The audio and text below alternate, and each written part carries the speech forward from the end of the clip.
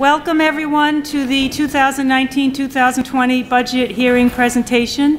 And if everyone would please rise to join me for the Pledge of Allegiance.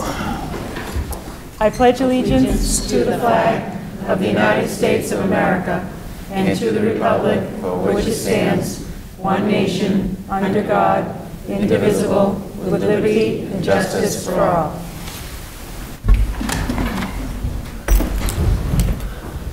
Thank you very much. It's very nice to see such a big crowd.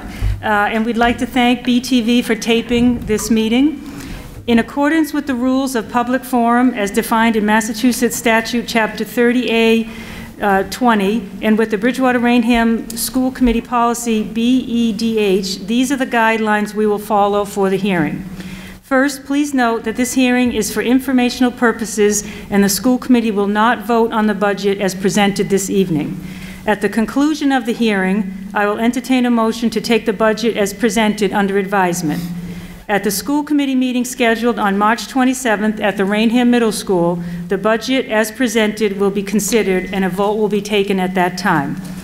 For the purpose of tonight's hearing, our Budget Subcommittee Chairperson, Mrs. Julie Scoparis, will present the FY20 budget. We will then ask our superintendent, Mr. Derek Swenson, if he wishes to add anything or to comment on the presentation. Following that, I will entertain any questions or comments from members of the committee. We will then ask for any public input. In conformance with these rules of public forum and our school committee policy, please note that any citizen wishing to speak before the committee should identify him or herself by name and address. A sign-in sheet is on the podium. Our policy requests that each speaker please limit themselves to three minutes, but with the chair, we have discretion in extending that time if appropriate. In accordance with the rules and with permission of the chair, all citizens shall speak to the full committee through the chair and shall not address individual members or administrators. Any committee member may direct questions to any speaker through the chair in order to clarify comments of the speaker. And with no further ado, we will have the school committee take seats in the audience and we will begin.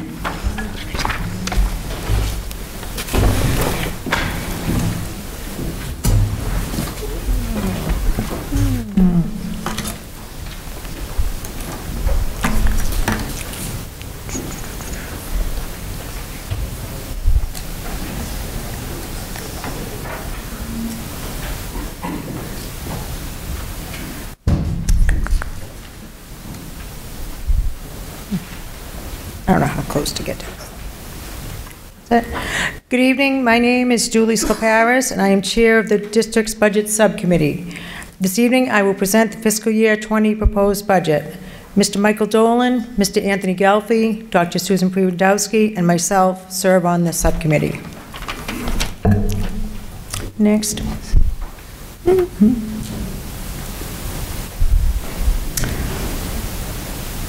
we go. The fiscal year 20 proposed budget is driven by our commitment to provide our students with a safe, supportive learning environment conducive to educational success as reflected in our mission statement, which is to provide excellence in education for all students in a safe learning environment. Okay. A student success plan is a strategic plan for district and school improvement. The student success plan is driven by four pillars, safe and supportive schools, curriculum instruction, technology, and facilities. The superintendent's original fiscal year 20 budget proposed was $76,508,498. The reality, Bridgewater's commitment to a 3.4% assessment increase requires Raynham's assessment increase to be 3.29%, resulting in a proposed fiscal year budget without debt of $72,560,497. Do the math. This leads to a budget deficit of $3,948,001 from the superintendent's original fiscal year budget. However, the budget deficit was met by utilization of funds from school choice, base, circuit breaker, and excess and deficiency, also known as free cash. Staffing for success. 18 new positions were requested in the original proposed fiscal year budget. This budget, zero. This budget results in no new positions, including no new teachers, no no new educational support professionals, and no additional social emotional support positions. However, the district will continue to use existing staff, current resources, and our present practice of utilizing interns from the North River Collaborative to address social and emotional concerns. Again, of 18 proposed positions, none will be added. Textbooks and supplies. There will be no funds from this proposed budget to purchase new textbooks and supplies. Any funds left over from the fiscal year 19 budget will be used to pre-purchase supplies. Therefore, this money will not be available for the district's future excess and deficiency account. Textbooks and resources needed to align the district with the new Department of Elementary and Secondary Ed curriculum frameworks for science and social studies were stripped from the budget. Okay. Despite all those reductions, there is still a, there still is a $400,000 shortfall. Due to the lower than requested town assessment, the district is unable to turn the page in regards to contract obligations and the operational budget. Therefore, to prevent staff layoffs and/or the elimination of extracurricular activities, including athletics or clubs, the district dug deeper into the revolving accounts and our excess and deficiency account to offset this budgetary shortfall. Again, these funds will not be available to offset future budgets as the continuous use of these funds will eventually deplete these accounts. This budget will result in estimated district-wide classes as shown on this slide. I know it's really small, hard for me to see, but hopefully you can see. These figures do not account for any new move-ins. There will be no funding for additional teachers should we see increased enrollment over the summer. Last year, the district enrolled a total net gain of 86 new students. The highlighted areas are the grades most impacted by the elimination of the superintendent's new staffing requests. For example, at the George Mitchell Elementary School, 10 sections of grade 1 will be dispersed into nine sections as they enter grade 2. This will raise the class size even further. At the Merrill Elementary School, the kindergarten class goes from seven sections to six sections as they advance into grade one, resulting in a class size of 20 to 7 to 28 students per classroom. To avoid layoffs, which would further increase class sizes, the district used additional money from its emergency funds, such as excess and deficiency and district revolving accounts. All right. Okay. This brings us to our fiscal year 20 budget. This is a pictorial representation of each of the state function categories of the budget. This category includes instructional services in deep red and represents 55% of the budget. As you can see, this is the biggest piece of the pie. The expenditures in this category include uh, students with direct services and includes salaries, expenditures for principals, school secretaries, teachers, educational support professionals, proctors, guidance counselors, psychologists, librarians, and substitutes, as well as expenditures for textbook supplies and classroom technology. Programs with other districts are in orange and represents 5% of the budget. This section includes expenditures for student tuitions to attend schools outside of the Bridgewater Raynham District uh, based on individualized ed plans, school choice, or charter schools. Fixed costs are in gray and represent 19% of the budget. Fixed costs include health insurance for active and retired employees, unemployment expenses, building and liability insurance, workman's comp, life insurance, and pension assessments. Unlike town department budgets, this is all included in our total budget. Administration, which is in the blue wedge, represents 3% of the budget. This includes salaries and expenditures for the Office of Superintendent, Business and Finance, and district-wide technology. In black, next to the left of our blue wedge is our asset acquisition wedge. This represents allocation of $10,000 to the stabilization fund. We require to include this amount under the 7,000 series. Operation and maintenance represents 7% of the budget and is in green. This section includes salaries for custodian, maintenance, groundskeeping personnel, as well as cleaning supplies, building maintenance, heating, and utilities. Other school services is represented in brown at 11% and includes salary for nurses, a school resource officer, expenditures for extracurricular athletic programs, and transportation for regular and special ed students. On the bottom half, not the pie, last year, the school committee proposed a $72,310,428 budget, which was eventually reduced to the $70,192,410. Okay. Local revenues, how do we pay for it? Miscellaneous receipts, $380,000, which includes Medicaid reimbursements at $250,000 and facility rental fees of $130,000. User fees, $179,000, which includes athletic fees of 150, user fees of $150,000 and parking at $29,000. E and D appropriation, $1 million. Again, that E and D is a savings account, emergency fund that we had to dig into after the bills are paid and after the circuit breaker was certified. It's Supposed to be for emergencies. Next. Revenue calculations are estimated, uh, based on the governor's budget, which hasn't been finalized. State revenue, $23,928,725. District revenue, $1,604,000. And the town assessments, $47,027,772, for a grand total of $72,560,497. Okay, total assessments without debt, last year for Raynham, $17,914,930. Fiscal year '20, $18,504,284 at, for percent change year to year of 3.29%. For Bridgewater, fiscal year 19, $27,584,426. Fiscal year 20, $28,523, $523,488 for a percent increase of 3.4%.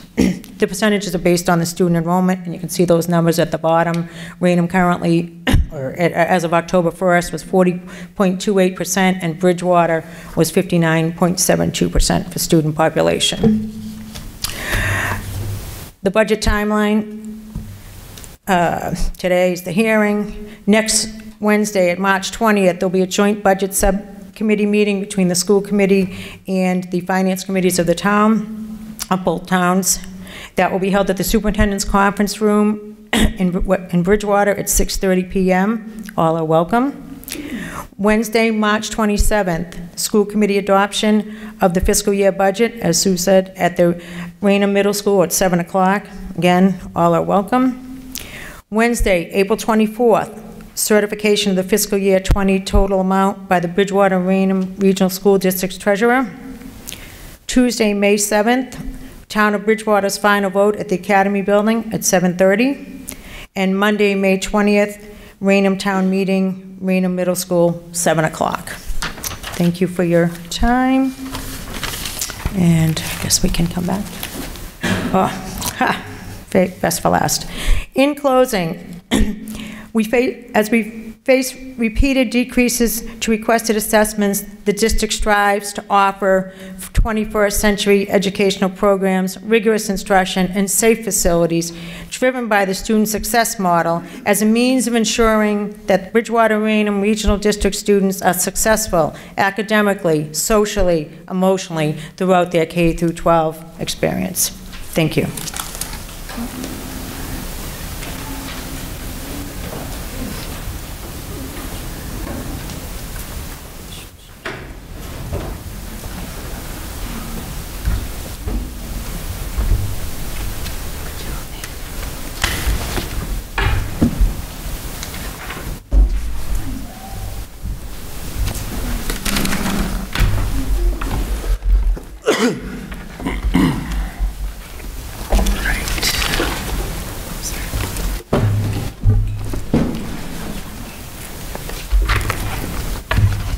Mr. Swenson, we are going to turn it over to you for any comments, please. Thank you, Madam Chair. First of all, I would like to um, thank all the folks that, all their hard work that goes into the development uh, of an operational budget.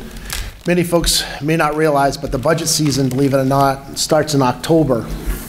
Um, So we no sooner get our operational budget from uh, the previous year, we're about a month into school, we already start planning for the next fiscal year. Um, I meet with my principals, I meet with my directors and managers, and they bring to me what they feel as though their schools or departments need to run at an optimal rate. Staffing requests in this budget were 18. When they originally came to me in October, it was 47 and a half. So a lot of work had to go into prioritizing um, those 18 positions. Um, And tho- those 47 and a half positions, that's okay. I encourage my folks to come to me and advocate for their buildings and their departments because our children and our folks deserve the best. With that being said, um, it comes to us, and we work with um, the central office staff up until January to then present my preliminary budget. At that point, the school committee approves or does not approve, but they usually approve, my preliminary budget, and then it becomes their budget. And that's when the real work begins. I can't say enough about our school committee. I can't say enough about our budget subcommittee. Um, These folks are volunteers, and they give umpty hours to this district, and the dedication and hard work um, is definitely recognized and appreciated, so I thank all of them for their time. To the point where we get to tonight, and we have to make decisions about what we are going to present here at the public hearing and go to the towns with. Obviously, as the superintendent, but also as a parent of children that go to this district, to say that I'm disappointed in this budget moving forward would be an understatement. Those 18 positions, those weren't wants, those are needs. Our communities are growing on both sides. Construction, home sales are through the roof, and that's great. It's the reason why my wife and I moved to the community of Raynham. We wanted to start a family. We knew that we had great schools. But with that comes a responsibility from our towns to recognize that if this growth is going to bring in school-aged children, the schools need to be supported in order to make sure that those students are given every opportunity to succeed each and every day. The biggest concern for me, class size obviously is a big one. I don't want my teachers to be sitting in classes of 28 to 30 students. I don't want my students sitting in classes of 28 to 30 students. The social emotional piece is my biggest concern.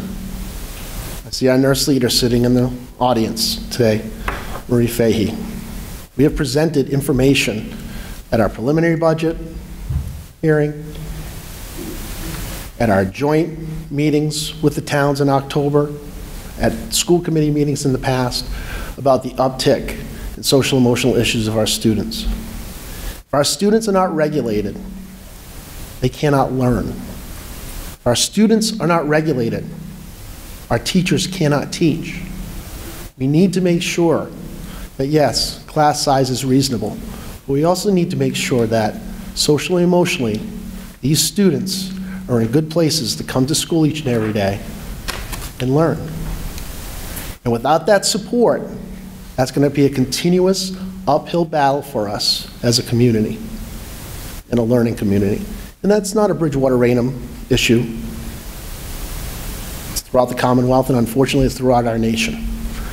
Anxiety, depression, everything that our children are dealing with right now, okay, is at the forefront. We need to be doing more for that population.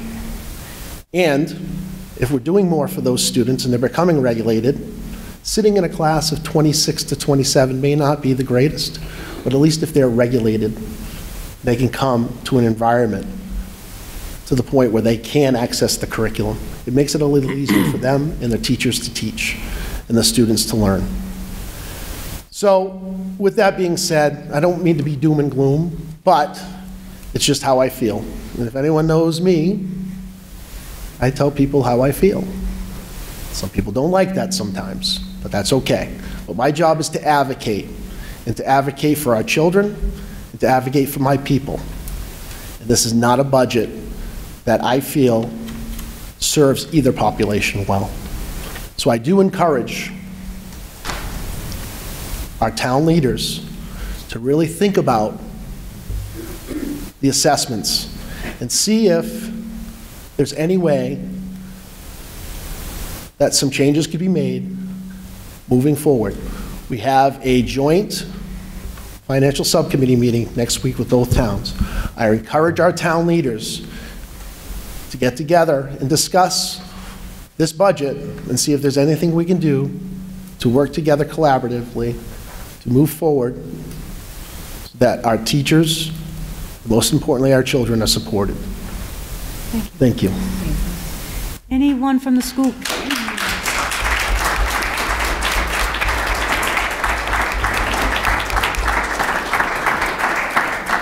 Any members of the school committee have any comments or questions?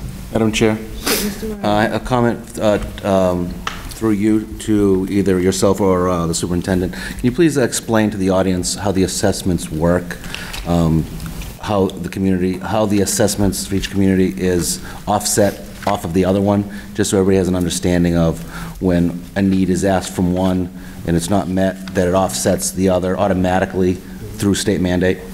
Well, it's the regional agreement that we have. Um, So the regional agreement basically states that if we request a number and um, either side, whether it be Bridgewater or Raynham, can't meet that assessment, we automatically have to go back and reduce the other side of the district's assessment as well.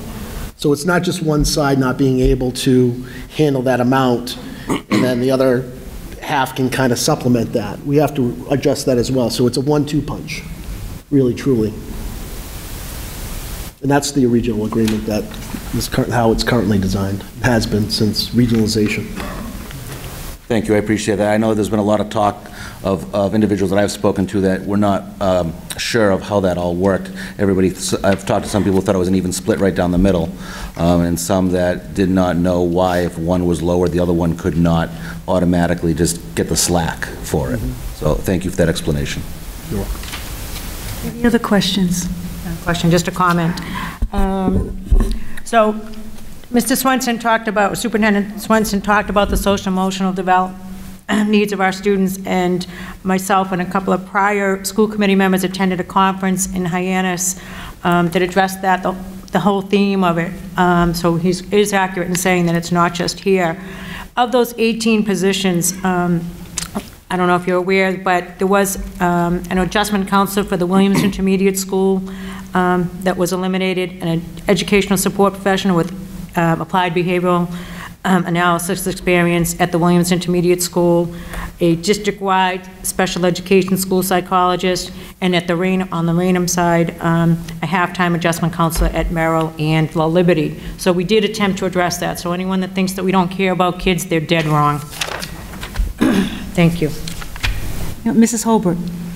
Madam Chair, through you to Mr. Swenson or Ms. Macedo, um, the, a million dollar um, amount of money that's being taken from the E and D appropriation, could you tell us about that? Is that a typical practice during the budget process? And if not, what does that mean for us going forward?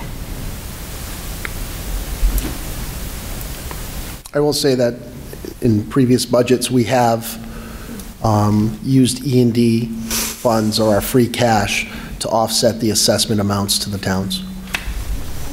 Yes, that's true. Um, We have, um, by law, we are allowed to have 5% of our budget in E and D, which is somewhat over $3 million. Uh, However, the district has always contributed uh, some of those funds so that that would help lower the assessments to the town. Um, This year, we were um, certified at 1.7. Uh, We were initially looking to use 900,000 of that so that we could also have some money to roll into the budget for 2021. Uh, However, we, uh, to try to make up that deficit, used another 100,000, so now we're up to a million. So that'll be less funds that we'll have for our 2021 budget. And are those funds like our rainy day? Those are free cash, those are undesignated funds. So if something were to go wrong in one of the buildings, that is the money that we would be using? That's the money we could access to repair or fix or whatever. Can I also add to that, that a lot of that piece of that money is relied on the circuit breaker, which is incredibly complicated, but that's a piece of the special education monies that the state gives us back after we've spent a certain amount per pupil. So that varies year to year. So if we have a decrease in our special education population and we don't meet the circuit breaker, we're not going to have that money. So every year, that That number changes Correct. So we yearly. can't promise that we're going to have the circuit breaker recertified every year to put into E and D. So that's one of our fears, is that at some point, we may not be able to give a million, and then now it's going to come back on the town. And I think part of everyone's frustration here on this table is that I would have to say at least the last three or four budgets that we really have not had our assessments met by the, the two towns. They have given us increases, I do want to make that clear. Each town is giving us more than they gave last year, but they are not meeting the request that the superintendent and the school committee feel is necessary to run the schools that we feel is the best educational parts for our kids. So, sure, Mr. Dolan. If I could, Just to clarify, so right now, our E and D has $1.7 million. Correct. For this budget, after this budget is taken, is done, we'll only have 700,000. So next year, we won't have a million. Right. And then whatever we close um, at the end of fiscal year 19, which, um, as we talked about, uh, doing some pre-purchasing, um, to reduce the budget, we're going to be pre-purchasing out of district tuitions um, and some Supplies. supplies and whatnot, um, based on what's left. Right. Um, So it doesn't appear that there will be a lot to put into E and D from 19's budget, so I'm just kind of banking on the seven that I know is there. Thank you. Ms. Macedo, could you also explain um, the miscellaneous receipts, uh, um, the Chapter 70 money, the money we're promised for transportation that we don't normally get, and how that changes? Okay, so those are two different things. right, I know. Miscellaneous receipts is going to be the Medicaid um, money that you spoke of earlier, and that's money that we get from the state through the Medicaid program for students who have had medical services, for instance, like speech, lang- and speech and language therapy, um, OT, PT, um, and there's like a whole menu that, of services that get checked off, and we get reimbursed for that. Um, As far as the uh, Chapter 70 and Chapter 71, which is transportation, um, chap, those are estimates from the state. We get that from the cherry sheet. And as you know, the governor's budget is the first go-around, which is the numbers we've been using. But that budget, the state budget, goes through a series of reiterations before it becomes final. Um, So those numbers are estimates. Now, should something happen during the year, like a 9C cuts, those numbers can be affected, and we may not get that. So they're all estimates at this point. So for transportation, for instance, we're typically, we're supposed to get 100%, but we maybe get between 60 and 70%? Is that fair to say? With transportation, what they do is, they look at, while they're doing these estimates, the only information they have right now is my fiscal year 18 end-of-year report. And that information as to what we're eligible to be reimbursed on, those children that are a mile and a half or more, um, on those children, they're looking at a reimbursement rate. Right now, that looks like 74%. However, when they look at the real number, when they finally give us the money for the following year, they're going to look at FY19. So these are estimates. Thank you.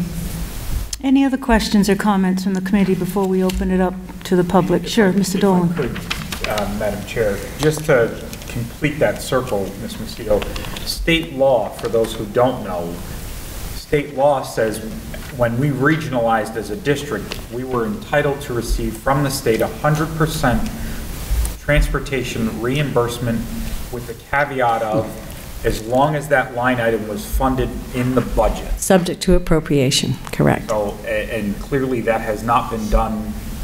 In my 32 years, I have seen, I believe, 99%. I have never seen 100. Thank you. Very good. Anyone else? Oh, One more comment. um, Sure, Mrs. uh, King. through you To Mr. Swenson. Um, I know you worked very hard with Mr. Powers on the student success plan this year that we did approve, um, I believe, at our February meeting. Um, The mission of that success plan was excellence in education. So do you feel that with this budget for next year, will we achieve excellence in education for any of those four pillars? Well, the way I look at it is this, um, those 18 positions obviously would assist us uh, in, in driving home that mission. Um, But one thing that we do have in this district are incredible people, incredible educators, support staff, custodial staff um, that do less, uh, more with less, and unfortunately have, have become used to that. And I would, I, and I, I wish that was not the case for them. But I look at a situation where last year we were in a similar situation, and on the Raynham side at LaLiberte, we have a school of recognition. So point being is, yes, do I feel like we could do this more efficiently if this budget was met with those 18 positions? Absolutely. But we still do the job we have to do each and every day. And that's a testament to my people, so, and, and the families that support us. So, um, yeah, it'd be easier, but we're still gonna open up the doors in September regardless. And we're still gonna do the job that's, jobs that we've been hired to do, and do them well. Um, But also, it would, it would, getting through and doing our best is not what we as a committee strive for our Mm-hmm. Students. We want it, and we've, and we said that when we presented, Mr. Powers presented that, that this is a plan that could really move this district forward. Um, But it is a plan that um, we feel like we want to use as a roadmap to guide our budgetary process. Um, But we feel like in certain situations like this, it's impacted by the budgetary process. And we can't do those things that we want to do within that plan, that we feel like we want to do to truly move this district forward. But again, regardless of, you know, this budget or previous budgets, we have incredible people that do what they need to do each and every day. I just wish that we could support them and support our kids in a better way.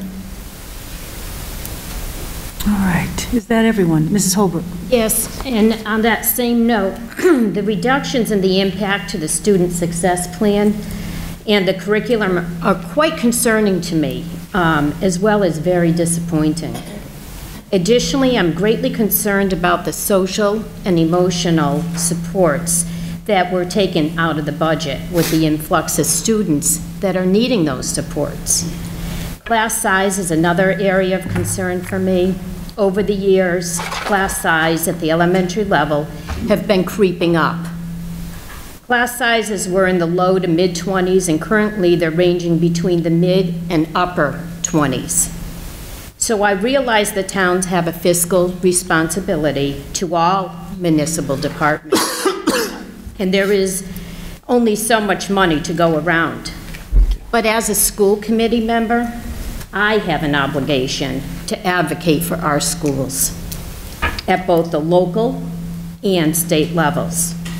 In turn, I continue, I encourage you to continue to advocate for our schools um, at both the local and state levels. It is what our students and staff deserve.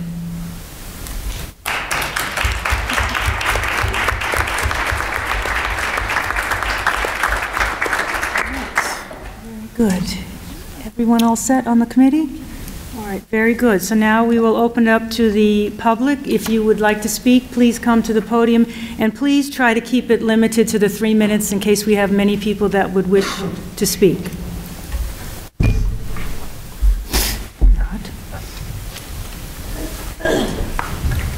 We do have some copies of the presentation, obviously not enough for everybody that's here, but if you'd like one, they're up here on our table. Um, But it'll be made available to the public as well. Hello, my name is Lisa Borgini, and I live at 11 Titicut Road in Raynham. I come from a family of educators, and I have three main points that I'd like to make. Um, the first one is, as many of people have already indicated, class size is absolutely critical to success. Um, a Harvard longitudinal study followed students from kindergarten all the way through to adulthood many years ago, and they found that of every single quality in that kindergarten classroom, the most important thing for success was class ratio to teacher to student. And they said the optimum, optimum side was, size was 10 to 1. so you can just see how horrified I am at the 27 to 1 that we're talking about for first grade. Um, discipline becomes what we're doing. We're not teaching. As a teacher, I've been teaching for 25 years in higher education. I teach at the community college level, and it's just a very different classroom. Um, my second point is we're facing an anxiety epidemic in America among our youth. I'm here to tell you, I teach public speaking, and I'm more nervous talking to you than I am to my class uh, because you're adults and I don't have any grades in charge of you. but um, it's incredible to me in the last 25 years the change in the student body. I administer a pre and post test among my students in terms of their anxiety level. At the beginning of the semester, it's a very established test, it's been happening for 20 years. Every single one of my students in the community college level, 18 to 25 roughly, mostly, every single one of my students, except for one this semester, tested high or moderate levels of anxiety. I have students who are afraid and nervous and anxious about coming to campus. And I don't think that's any different than the high school and middle school and elementary school level. I think we need to address that and to not have those psychological needs met, especially with the 27 students in a classroom, that's a safety concern because students will fall through the cracks. And I don't want any of our children to fall through that crack. My third point is that we are in a creative economy. We were in a factory economy, then we were in an information age, now we're in a creative age. We need to support the creative arts at an incredibly high level for our students to succeed. The jobs that our students, that my, uh, one of my two daughters are in, in Raynham Public Schools, the jobs they're going to have haven't even been created yet. They say that 60% of the jobs that our youth will have don't even exist yet. So we need to teach them to think creatively and to think critically. That's why arts and music are so critical. And I think that that isn't even talked about here. I mean, we have 18 positions that were needed that have been cut. I think this budget is short sighted, and I want to applaud the school committee and the superintendent for their hard work, and I really hope that the towns will listen and make some changes. Thank you.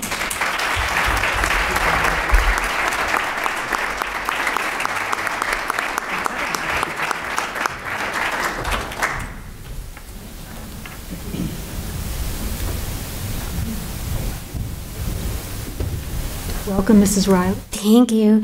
Uh, Pat Riley, Raynham resident, member of the Raynham Board of Selectmen, and former very proud member of the Bridgewater Raynham School Committee for 12 years.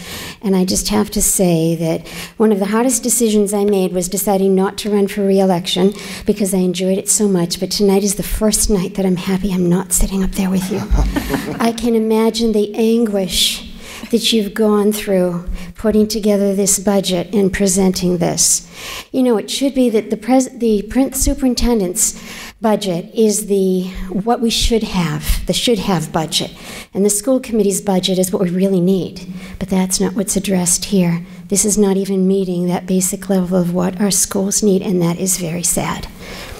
I keep hearing mention of the towns, the towns, but I just want to, with all due respect to our partners in Bridgewater, I just have to state that at the first budget meeting back in the fall, Gil Aligi, chairman of the Raynham Finance Committee, and Linda DeMello, the representative to the selectmen, said that the intent of the Raynham Finance Committee was to meet the assessment that was asked of for the budget that the school committee uh, would propose based on what we need.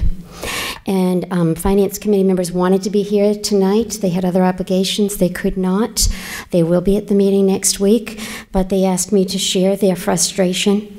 And they um, have asked to, to discuss with the selectmen certain possibilities, in addition to possibility of gifting money to the district. We've done that in the past. We don't like to do that because it's not the right thing to do in a regional district.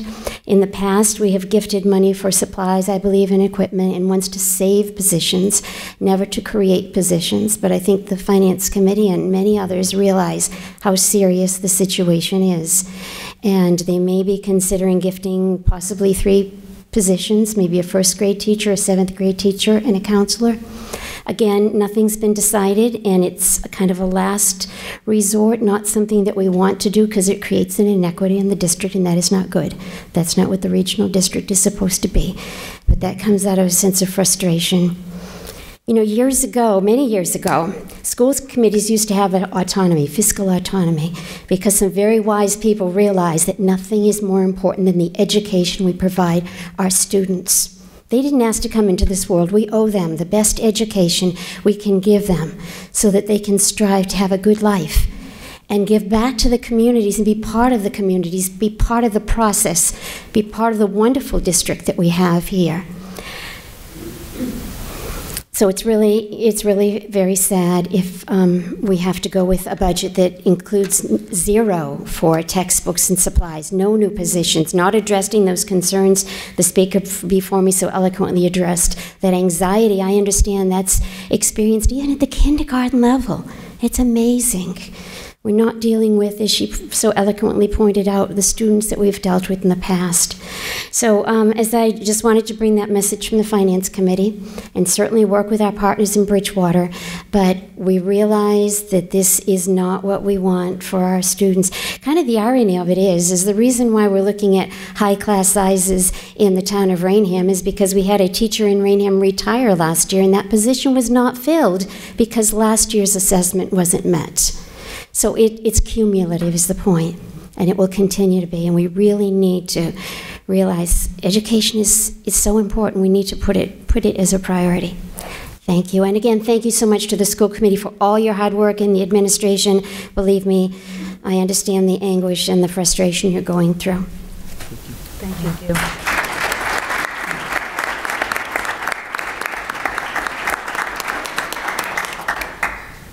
Is there anyone else who would like to speak? Sure.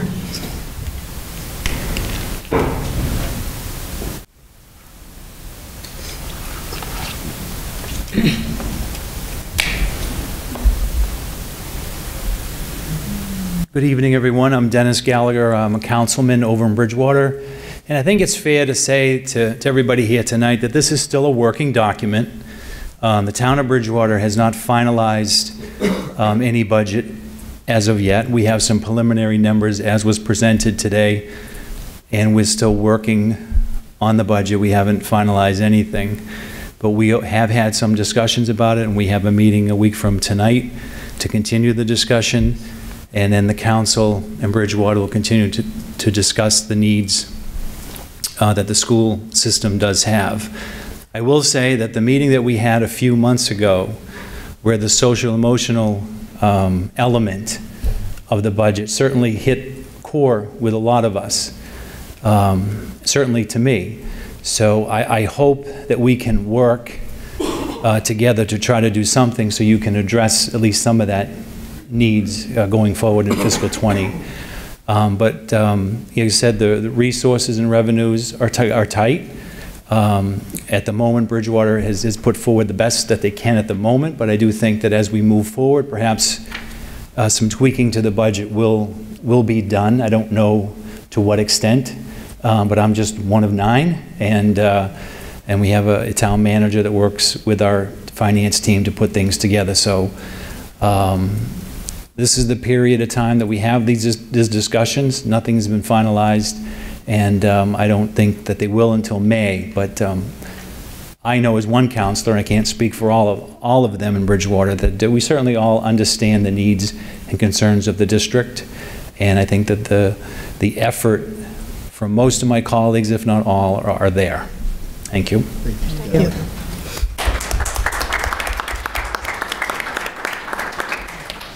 Do we have anyone else who'd like to speak? Sure.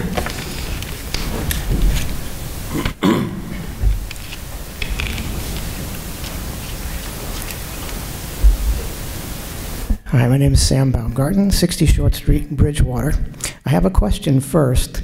If I read the, the uh, PowerPoint correctly, there's a, a fairly large increase in the administrative piece of the pie, about 20%. And I'm wondering if you could explain that increase. It's, uh, the technology licenses actually come within that line as well, so that's what um, really equates for that increase. It's not increased admin by any means. No, it just seems like a large chunk compared to every other, every other item. There's no additional admin, it's, um, it was just the technology licenses come under that series. So Thank you. And I had one other observation. Last night I was at the town council meeting in Bridgewater, and a parent stood up, and I don't know if you're here tonight, Mrs. Silva from Tommy Ann Terrace, but um, she spoke about the budget concerns and it, and mentioned that um, concern about class size, especially with regard to the younger ages.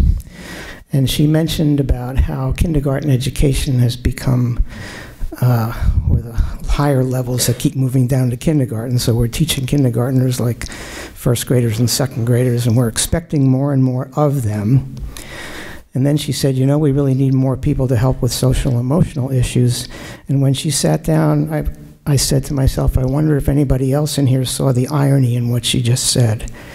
Because we have put a lot of stress onto five and six year olds to therefore create more social emotional issues. And maybe if we can fix that, we won't need so many counselors as we move forward. I think we really need to rethink how we're approaching young children. And uh, my children are not that far removed from school, but they used to have a half day kindergarten, and they'd go home and they'd relax. And uh, I think we're expecting a little too much, which then creates more stress. So some of it is our, our own doing as education has changed, as testing has increased. We need to take a, another look at how we do things. Thank you. Thank you.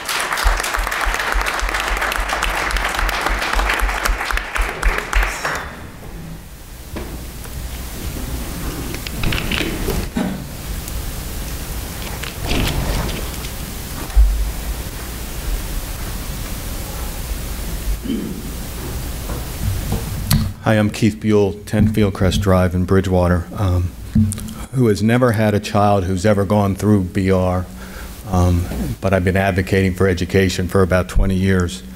Um, I'm speaking as a Bridgewater resident, and I'm speaking as possibly someone that's on the other side looking at this budget. And the one thing that's going through social media right now, and I, I'm hoping you can explain so that if somebody's watching this that might be on the fence, that it might be able to turn the tide a little bit. But I saw somewhere, and it's been printed out there, that enrollment is down over the past few years.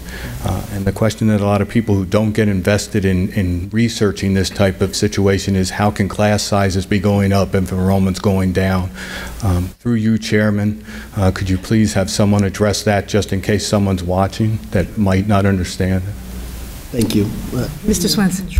So if you look at the overall enrollment, um, it has declined um, a bit over time. However, because when we get to, we look at uh, students uh, in eighth grade, often going to the high school level. Um, Many students may go a vocational track, they may go an agricultural track, they might go to a parochial school, a private school. So that's kind of where we have seen our dip. But if you look at our K-4 numbers, our K through 4 population, and I know this because I had to present this information to MSBA um, about a year or two ago, when we were trying to get into uh, the eligibility phase for the Mitchell Elementary School project. And we looked at a longitudinal look at cohorts of students, grades K-5. If we took a kindergarten class in, say, 2014, and over time, when that kindergarten class then becomes first grade, down to second to fourth, each section grew by about 25 students per cohort. So even though overall enrollment may have decreased over time, the population is growing, and it's growing at the elementary level where we're seeing these high class sizes. And it makes sense, because parents aren't going to most likely uproot their family and move to Bridgewater or Raynham when their students are in middle school or in high school. They're going to move into the communities when they're going to start a family or the students are close to school aged. So what we're seeing is those populations are growing. And over time, if we're able to retain those students within our district, that overall enrollment is going to grow over time because they're going to remain within our, within our, um, within our district. So point being is, even though overall enrollment might be declining, it's on the rise at the younger populations, and that's where we're seeing these high class sizes. And we just stated that last year, because we could not fill a position at the uh, elementary school because we could not make the assessment number. So what we did instead of laying off, we looked at positions through attrition. Because when you lay off an employee, you actually have to lay off two employees to cover the cost of unemployment. So what we try to look at is folks that are retiring, if we cannot fill that position, okay, we don't have to then pay unemployment costs, and we don't have to, you know, what we really don't want to do is lay off our people. But what ends up happening, it's still a reduction in force. We're still having less teachers in certain areas, especially at the elementary. So right now, where we used to have seven sections of first grade at Merrill, we now have six.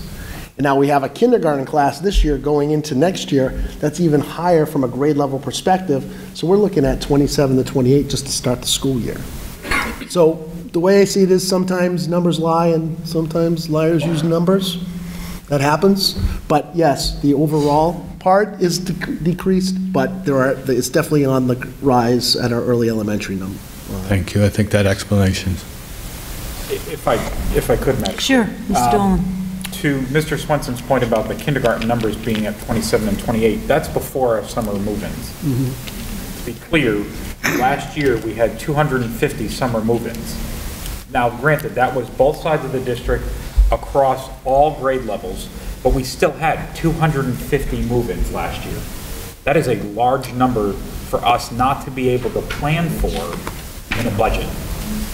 Um, I also want to sort of echo the point of the- enrollment number piece, the irony of our, our older grades going down. I realize it's speculation, but I'm forced to speculate that if over time we had been funded properly as a school district, would we have lost those older kids? Would they still be here? Would they be going to the high school instead of going to a private school or a Aggie school or some other option? So I, I I push back on that argument as well, using that, that standpoint.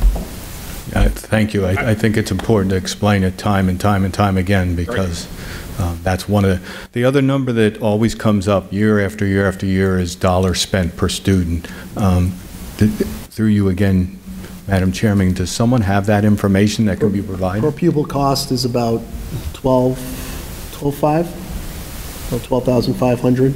And do you know what the state average is? We're, I think we're below the state average. Um, You know, I'm- I'm not sure what the state average actually is right now, but we are below the state average. I mean, average. again, I, th- I think that's important, that, that's a, a two-number thing that people resonate with, and I, I think it's important to get that information out there. Yeah, And I would, and I would say this, I, I- I know we're talking a lot about the towns, but the state mechanism for funding education needs to be changed as well. It has, it hasn't been adjusted since ed reform in 93. The world's changed quite a bit since 1993. So the state really needs to recognize that that formula needs to be tweaked as well. So um, we are advocating, uh, we had a group of teachers at uh, Bridgewater State University a few weeks ago, uh, working with MTA and our local union, BREA, uh, advocating for some bills that may be coming down the pike that would help increase um, some funding from the state level that would be an influx to us at the local level. So, um, you know, I, I would encourage um, parents and families too to not only advocate at the local level with your councilmen and selectmen, but also with your representatives and senators at the state level as well. And then the last thing for my three minutes. um, the- I've never talked three minutes in my life. Um, I'm sure the invitation has been made, but if it hasn't, uh, it should be to both the state rep and the state senator to attend um, next Wednesday's meeting. Um, And um, they declined, I would re-invite them. I think it's very important for both of them to be there. I also think it's important that if anybody's going to go in from the, the town of Bridgewater and going to go and advocate for funds, that you take a quick peek at the budget and see where those funds can come from. Because one of the things is that if we're going to take money that I feel is deserved to the school, um, and you just go up and say that, that's one thing. But if you can go up and say, okay, I looked at the budget and I see these dollars going here, do they have to go here or can there be something changed? It's a much more prudent argument. I don't think anybody in Bridgewater doesn't want our kids to be educated. They might vote against this, they might vote against the school, they might post on social media, but I don't think there's anybody that's against education. Um, know, it's just this tug of war between town and school has been going on for years and years and years and years, um, and it gets tougher every time. Um, so I think if you're going to advocate um, and you want somebody uh, on that council to listen, go in there with a, with a plan. You know, go in there with a plan of where you think dollars might be able to be moved into this budget so that the kids can get what this, and thank you for your service, um, which is unpaid. Um, and, uh, and go in with a plan. Um, they're going to listen a little bit more. Um, it's happened before where they've given money um, after the fact. As Councilor Gallagher said, it's a working program. But the other thing to understand is once it's approved in Bridgewater, and that's improved, if something happens in Bridgewater, they can never touch that budget. And that's another thing that people think about when they're voting, you know, and when they're talking to their councilors about how they want them to vote, you know, is once the town's voted the budget, if something would happen in Bridgewater, um, the money has to come from everybody else, and it just can't come from the school. And these are the things that we've battled. These are the things that we have to use when we want to make arguments for why we think, not just because we love our kids and because they deserve the education that we want them to have, which, I, like I said, I think everybody wants.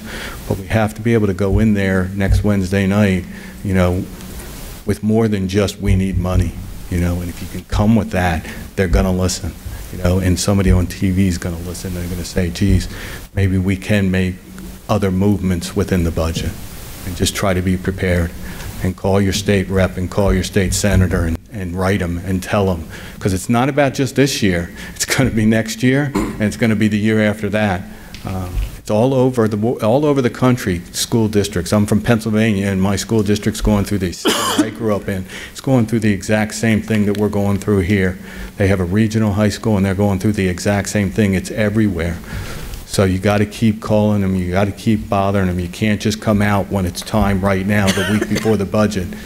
You know, you should start writing your state senator and your state rep for next year, the week after this budget is approved. Yes. And then write them every week after that.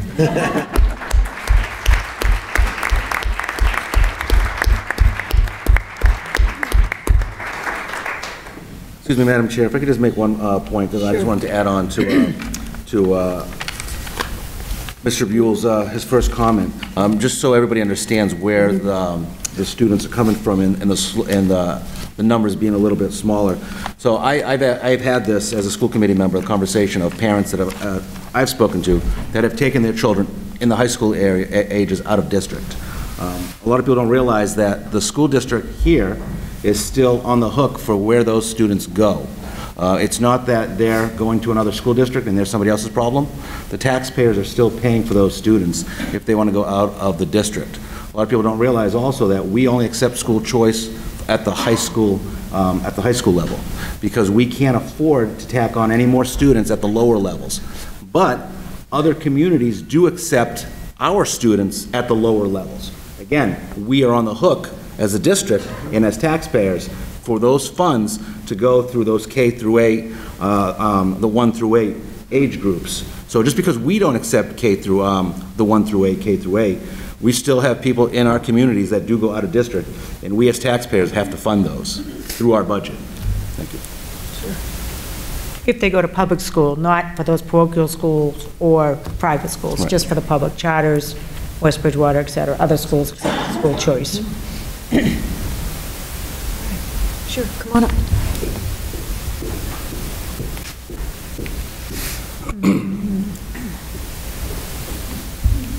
Hello, my name is Ashley Mallard, and I'm a teacher here at Bridgewater Raynham. I teach ninth grade, and I have about one-third of the freshman class might be climbing to a higher number since the history position that is actually a retiree um, didn't get filled.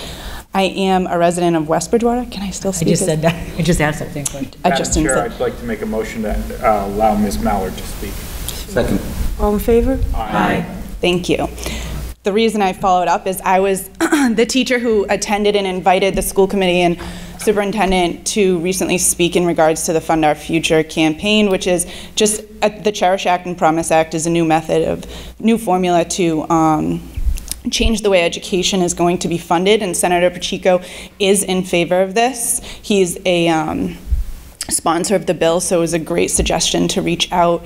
But um, you asked what the per pupil expenditures were.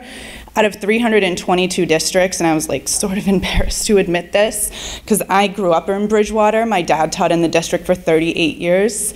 I took his job when he retired. Thank God someone hired me. I worked my butt off and did student teaching here and wanted wanted to come back. I left Hingham to come back here voluntarily, and people were like, "Are you nuts?" And I lost my job the next year to pay, to cuts. And luckily, I was brought back, thankfully, under Principal Watson, and was super excited to come up to the high school. Out of 322 districts, Bridgewater Raynham ranks 297. I've heard people who send their kids to West Bridgewater thinking it's smaller class sizes. They pay worse per pupil expenditure. So does Whitman Hanson. and East Bridgewater is one of the worst in the state, 320, with their shiny new school. Oh yeah, West Bridgewater has a shiny new school too, and so does BR from the outside. I know we still look pretty. And I had suggested this as a history teacher. This is the gilded age of education. You are surviving on the hard work of my coworkers, administrators. When I was in the middle school, I had two years of Spanish. I had health, so I was more prepared for the obstacles that faced me. I had DARE, and I chose to say no. and when I got up to the high school, I was one year ahead. I had Spanish 5, doesn't even exist anymore here. Okay, these are t- opportunities your child, uh, your children are losing out on, and not at the expense of the lack of enthusiasm from the teachers. These just positions don't exist anymore. And those cuts started actually when I was in high school, and um, I went off to college, and I remember the school shutting the doors at like one o'clock in the afternoon because funding became so bad, and the state came in and demanded we fix our doors and the new school got built and more teachers eventually got hired and then the economy crashed again and we've been inching our way back. Two weeks ago i spent $500 on my credit card. Thank god i get paid tomorrow um, for class supplies that i just won't be using my department will be sharing um, and earlier this year um, I spent $600 on basic classroom supplies, and I'm also still working off of construction paper that I saved from my parents with their combined over 70 years of education. I chose this career because I watched my parents enjoy it. I watched all the teachers of Bridgewater Raynham growing up work together with administrators. I can tell you all the old superintendents who used to come eat breakfast at my house, where we all can get along.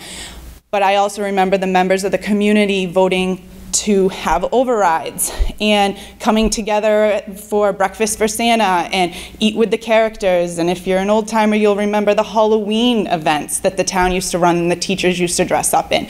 That's not the community that exists anymore. And I, I don't know where it got lost. I don't know where 400 houses can pop up and then they think they don't need to throw any more money into the school. I would love to have children that come into my classroom happy every single day, but I know it's not happening. Sometimes my room gets designated a safe room.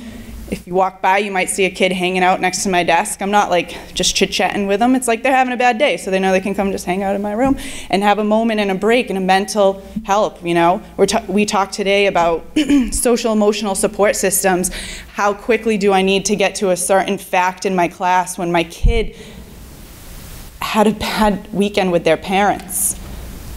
These are the things that the teachers know that we can't talk about, but when I have a classroom of 28 kids with no extra desks, even though I've asked for one for two weeks, Mrs. Watson, um, these, these are the types of things that we're struggling with. I can't incorporate the 21st century skills because I can't get regular computers that have consistent access to the internet. It just went down the other day after school, and it's not to anyone's dismay, but it's, it, it's not one person you can sit this on, but I hate to see that Bridgewater consistently is not meeting the same expectations that Raynham has. This is not what we want to bring our kids into. And let me just remind you, 297 out of 322. 297 out of 322 per pupil expenditure. I'll leave you with that, and uh, thank you very much for letting me speak, and I appreciate the hard work. Thank you.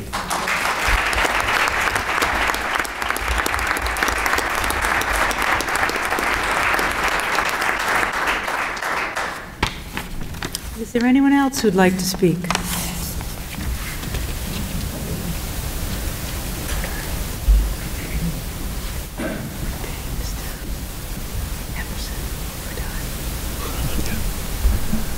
So just to build off that a little bit, so I'm Patrick Smith. I live at 310 Auburn Street, Bridgewater. So I have a, uh, I have a, a, uh, seven-year-old that's in second grade and a kindergartner that'll be going to school in September.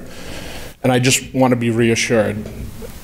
I just want to know that why, you know, looking at the budget and what it's going to be, and, and how many Bridgewater Finance or, or the Budget Committee is here tonight? So there's one. I think that's pretty telling. And, and I, we hear all this time about, you know, it matters to us and it matters to the council and it matters to everyone. We were 18 teacher deficit. So how much does it really matter to you? That's the questions I have.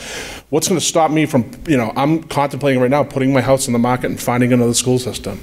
That's how bad things have gotten. And she's right, we're building homes behind Curve Street where we, you know, we're down to school. My daughter is literally at a table with six other kids. And that's frustrating to me as a father because I moved, when I retired from the military, I moved here because it was a great school system and it was, like she said, a sense of community. And then the five years we've been here, that's completely gone. It just doesn't exist anymore. And and it's to the point where I'm thinking about leaving the town because it's gotten that bad. And I'm concerned that there's only one council member here tonight. And I understand there's a meeting next week, but that, I mean, there's a, you know, 100 parents in this room. I mean, they should represent, well, you know, they're representing us. They should be here to talk the piece, but they're not. And that bothers me. And that's why I'm contemplating, you know, leaving a town that I, that I love for the last five years because I, I, I want to find something better for my kids because that's what my whole life is about, is about making sure that my kids get the best education possible. I'm just really concerned about that. But I appreciate the hard work. I know it's not on you guys, but it's just really telling that no one else is here tonight to talk to us about the actual budget. So, thank you.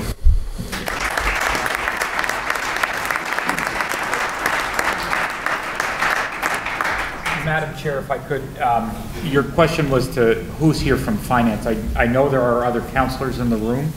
Um, I just want to pay uh, an acknowledgement to them. I think I saw Mr. Chase in the back. Yes. Um, Oh, there he is. Uh, Mr. George is here. s- I'm right, I'm right here. Hello. Good evening, everyone. Um, Sean George, uh, Jillian's Way. Uh, I'm a resident and I'm a parent of a freshman in Bridgewater, and I also sit in the town council. Um, it, I, I, understand everybody's concerns and frustrations. Gonna have to give me a minute, I'm a little, little jazzed here. Um, I think there's a, there's a belief, unfortunately, social media is a blessing and a curse, that the council and the finance committee doesn't care. And the fact that we don't care bothers people, rightfully so, but it's not true. I appreciate our partners in Raynham and that they have the abilities to meet their obligations. Bridgewater, I could tell you, we would love to meet all of our obligations. We don't sit there and try to figure out how not to meet them. But every town has unique challenges, the things that we have to take into consideration. There's things that we have to deal with that our partner doesn't. We talked about, uh, you talked about the school funding. Well, the state funding for state aid, that doesn't work for us either.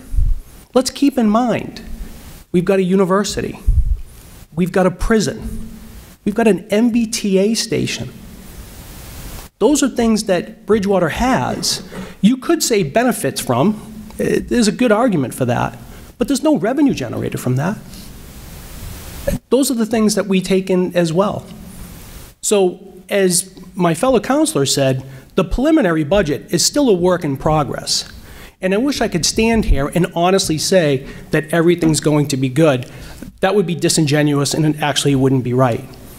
But I think working together, we'll do the, the, we'll do the best that we can because we want to make sure that our community, our kids, our educators, our public safety, our highway department, whatever, can do the best that they can. But unfortunately, with the limited resources that we have, we've got to make some decisions that aren't very popular. I'm not happy about it either. I wish I could stand up here and give and paint you a better picture. But the one thing I hope you walk away from is this. I'm not trying to get you not to be frustrated, but we are working hard for our community, for our kids, for our educators. And unfortunately, sometimes it may not be the message that we want to deliver, but we're doing the best we can. Thank you.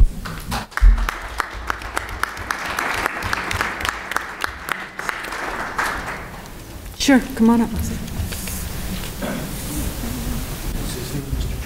Yes.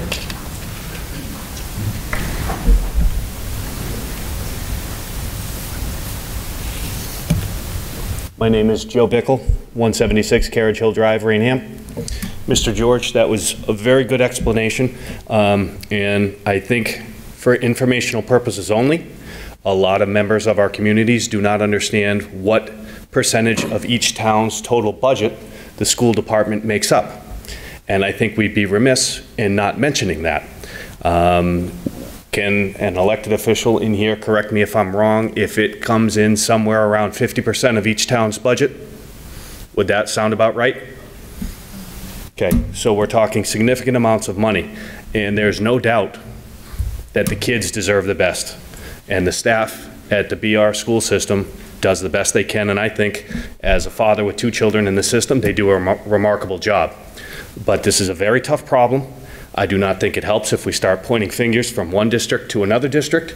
We have to find a long-term solution, because if I'm reading the statistics correctly, the assessments on each town went up by over 3%. Am I understanding that correctly? Proposition two and a half, you can only tax the town without an override at two and a half percent, which means this is going to be a problem next year, the year after, the year after, and it's a cumulative total. So I do not have the answers. I do not have the solutions. It is a very difficult problem, but we have to understand everybody who's elected is doing the best that they can. No one wants subpar for our children. But the only thing I really wanted to stress here was it's 50% of the town's budget, and that's a significant thing. Thank you for your time.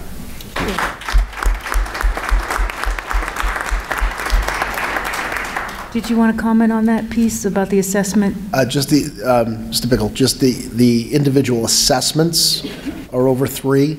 But that's not, the overall budget increase is what, Ms. Macedo?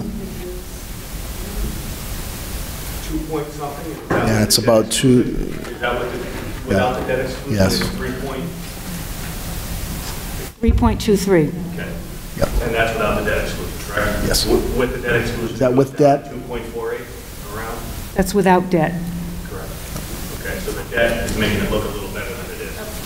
Okay. Thank you, Mr. Bickle. 3.37 without the debt exclusion. Thank you. Is there anyone else who'd like to speak? All right, very good. Well, thank everyone very much for attending. Madam Uh, Chair? Sure. Uh, It seems like we have a packed audience tonight, which is, which is great. Um, Should we possibly get a a poll of who will be attending next Wednesday night's meeting? 'Cause I do not think the uh, superintendent's conference room will be able to uh, handle this capacity. All right, well, and, and will not be televised. Uh, Could we just have a show of hands who would like to attend next Wednesday night's meeting?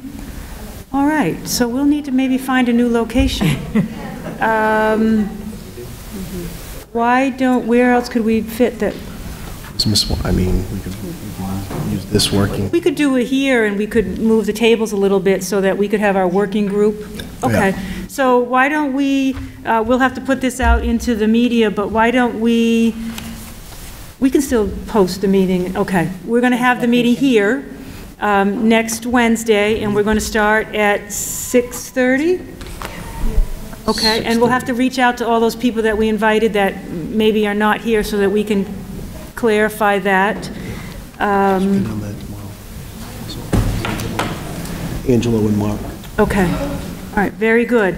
So I would like a motion um, to adjourn our public hearing and reconvene an executive session per Mass General Law, Chapter 30A uh, slash 21, uh, to discuss strategy with respect to a pre- preparation for collective bargaining when an open discussion may have a detrimental effect on the bargaining position of the committee, to conduct a grievance hearing regarding Article 9 of the AFSCME Council 93-1700 Collective Bargaining Agreement, approve the executive session minutes of November 28, 2018, and the school committee will adjourn and will not reconvene in open session for the purpose of conducting any other business. Motion by Mr. Dolan, second by Mrs. Scoparis, and we do need a roll call. Mr. Marrera? Aye. Mrs. Aye. Mr. Gelfi? Mrs. King? Aye. Mrs. Holbrook? Aye. Mr. Dolan? And the chair votes aye. Thank you very much, everyone. And we look forward to seeing you next year, uh, next year, next week, next week, I'm sorry.